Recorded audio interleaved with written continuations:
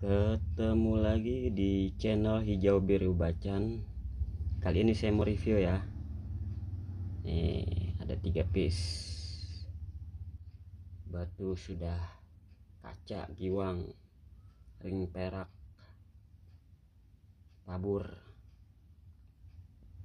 Hmm, mantap.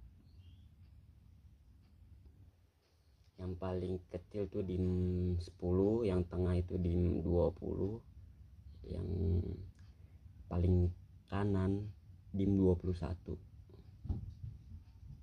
nah, jika berminat tinggal screenshot aja langsung geser ke WA ya. Pokoknya mantap lah.